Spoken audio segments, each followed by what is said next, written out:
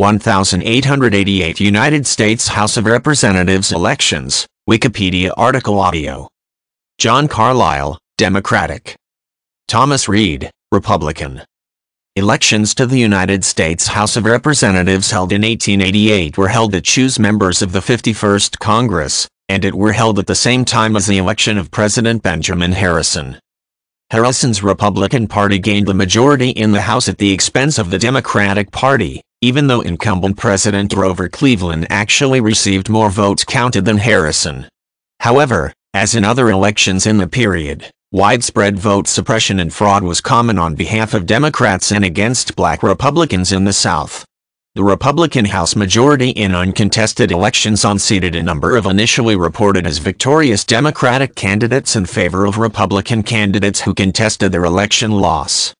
The issue of tariffs played a key role in this election. The Democrats, with the support of farmers and laborers, wanted to lower tariffs in order to promote free trade, while the Republicans, backed by industry and big business, believed that higher tariffs were necessary to protect American manufacturing. Especially in industrializing regions, voters chose the Republican view on tariffs, as they gave the party a slim majority in the House.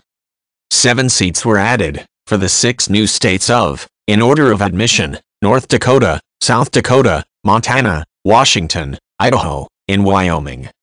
The previous election had four third-party candidates, two Labor, one Greenback, and one Independent.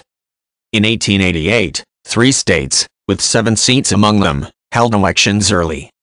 The states admitted in 1889 all held their first election on October 1. Wyoming's first election was held on September 11, 1890 for both the 51st Congress and the 52nd Congress. Idaho held two elections simultaneously on October 1, 1890, one for the 51st Congress and the other for the 52nd Congress.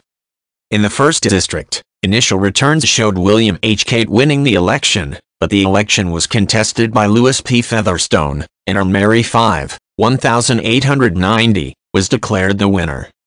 In the 2nd District, Clifton R. Breckinridge was initially declared re-elected.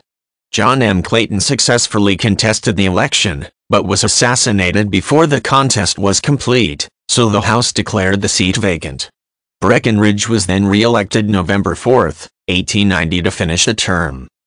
In the 7th District, Elliott was initially declared re-elected, but Miller successfully challenged the election and was seated in his place in September 1890.